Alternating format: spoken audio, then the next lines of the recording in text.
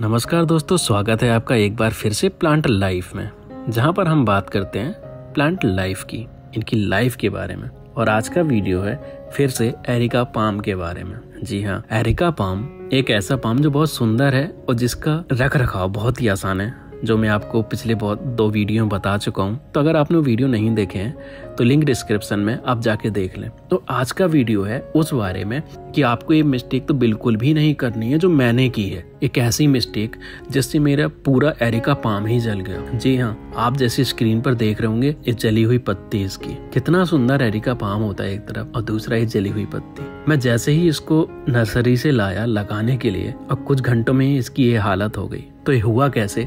बताऊँगा मैं आपको इस वीडियो में और बताऊँगा कि आपको ये गलती नहीं करनी है जैसे आपका एरिका हम बच सके। तो जुड़े रहिए आप इस वीडियो में अंत तक। चलिए फिर शुरू करते हैं। तो दोस्तों, बात है सैटरडे की, जब मैं सुबह से उठ के बड़ी खुशी के साथ गया एरिका पाम लेने। मुझे लगा कि एरिका पाम लगाना है। मैं नर्सरी गया, गाड़ी उठाई, नर्सरी गया और मैंने दो एरिका पाम वहाँ से ले लिए। उसके बाद मैं मार्केट गया।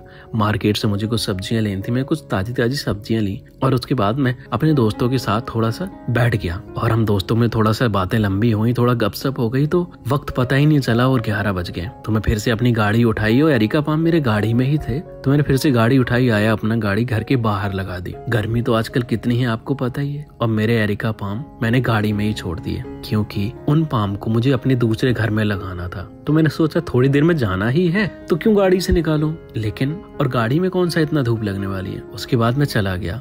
मैंने लंच वंच किया, दो बजे हमें करीब निकलना था। और जब हम दो बजे आए जाने के लिए तो हमने इन एरिका पाम की कुछ हालत ऐसी देखी। उसकी पत्ती मानो बिल्कुल सुकड़ गई थी। लग रहा था जैसे कि उन पे किसी ने तेजाब छिड़क दिया हो। गाड़ी की गर्माहट से वो पत्तियाँ इस तरह से झुलस गई थी, जैसे कि वो किसी ने आग लगा दी हो। और पूजा हम गाड़ी में बैठे तो पूरी गाड़ी में एरिका पाम की पत्ती जलने की महक थी। एक ऐसी महक जो काफ़ी हमें सता रही थी। और एक दुख दे रही थी कि इतने प्यारे से पौधे हमारे खराब हो गए।